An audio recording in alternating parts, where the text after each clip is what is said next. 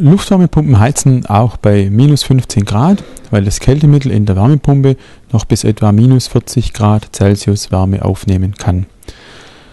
Wenn es draußen sehr kalt ist, dann friert die Wärmepumpe auch ein, weil die Feuchtigkeit aus der Luft in dem Verdampfer einfriert und sich Eis bildet und die Wärmepumpe merkt es dann und taut automatisch den Verdampfer ab.